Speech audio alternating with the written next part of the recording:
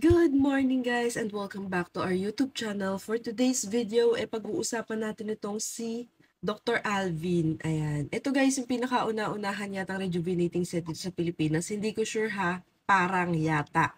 So, ayun na nga. Eto guys, kasi dati nagamit ko na to way back siguro mga 2015. Hindi ko na matandaan, medyo matagal na and hindi pa ako nag-YouTube noon. So ngayon ko i-share sa inyo yung experience ko and yung ating first impression dito sa product. So without further ado, start na natin yung video.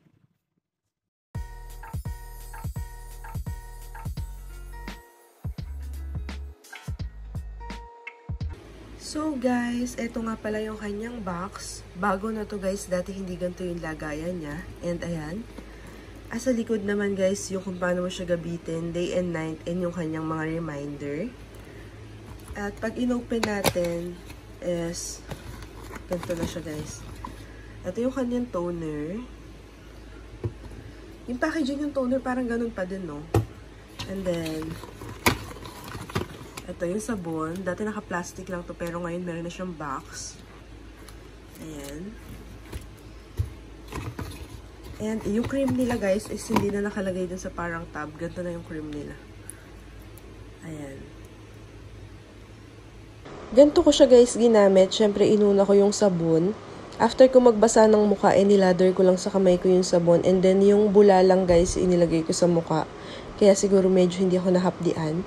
After naman yan, eh nagpatuyo ako ng face at yung toner naman yung sinunod ko. Kung nakikita nyo guys, eh pinapat-pat ko lang yung bulak sa aking face dahil baka mamaya eh masunog ako ng todo kapag ipinahid ko. Kaya ayan. After naman yan, eh yung sunblock na nga yung ilalagay natin sa face. Kung nakikita nyo naman guys, eh medyo thick talaga yung consistency ng sunblock. At medyo makapal talaga yung pagkalagay ko ng sunblock. Tignan nyo naman, para hindi masunog yung ating mukha. O, di ba? So guys, yun na yung inclusion niya and ganun ko din siya ginamit ngayong umaga. And in fairness guys, hindi ako masyado nahapdian. Kahit makikita nyo talaga, eh, ayan, active yung ating pimple na to. Active to guys dahil nagka-period ako kaya ang dami nating pimples. So ayun na nga. Yung thoughts ko dito sa product is yung first impression pa lang natin ngayon and i-update ko kayo after 7 days. So sa first impression natin guys is okay naman siya sa sabon, hindi ako nangate or hindi ako nahapdian nung ginamit ko siya sa aking face. Ayan. Dahil alam nyo guys, may mga rejuvenating set talaga na kapag ginamit mo talaga siya ng first time, kahit nag-patch test ka, eh talaga namang mahapdi at medyo may kati-kati sa mukha or nagsisting yung product. Pero nung ginamit ko to, siguro nasanay na din yung face ko dahil nung mga nakaraan, di ba, nag try din tayo ng mga rejuvenating set. Pero ngayon guys is ayan, hindi talaga and wala ring pamumulang nangyari. Ito talaga ay namumula dahil nga active yung pimple ko. Ayan. Pero titignan natin after 7 days kung talaga madadry niya and matatanggal niya guys. Kasi sobrang pula guys ng mga bakat ng aking pimple. Sana magbalat yung face natin, no? And dito naman tayo sa toner guys. Yung naramdaman ko lang sa kanya ngayon, eh malamig. Nang tinry ko to dati, yung old packaging pa nila kasi matagal na yung 2015, nagtatrabaho pa yata ako noon or basta ganun. Sobrang hapdi sa mukha. Tsaka ang bilis niya talaga nagbalat noon. So ngayon titignan natin kung talaga magbabalat siya agad. Dahil kahapon ko lang naman to binili and ngayon umaga lang naman nating itinry.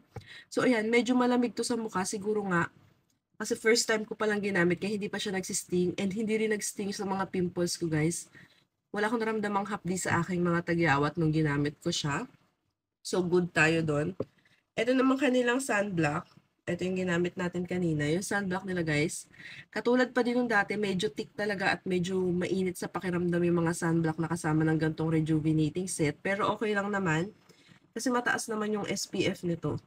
Hindi pala. Hindi pala siya mataas, sorry. SPF 15 PA+++ lang pala to guys. And yung sa neck ko pala, hindi na ito yung ginamit kong sunblock. Yung ginamit ko palang sunblock sa aking neck, eh, itong sun care stick ni Hello Glow. Ayan. And dito guys, ayan, medyo ma, ano nga yung consistency niya, medyo makapal and medyo thick, mahirap siyang ipahid sa mukha. Katulad pa rin nung dati, wala naman masyadong pinagbago. Pero, i-update ko kayo sa araw sa mga araw-araw na paggamit ko ulit sa kanya. So, ito muna yung sa ating first impression. Yun lang, hindi ako masyado nasakitan dahil wala akong naramdaman na sting guys. At kahit dito sa active na pimple ko na to, sobrang laki. Hindi siya nag-sting. So, yun lang muna yung video natin. And i-update ko kayo after 7 days kung talaga madadry niya and magpipil yung ating face. Bye! Sana i-like nyo yung video pala and mag-subscribe kayo dito sa ating channel. Pati na din sa ating Facebook page guys, mag-follow kayo And i-share nyo na din yung ating mga videos. Bye!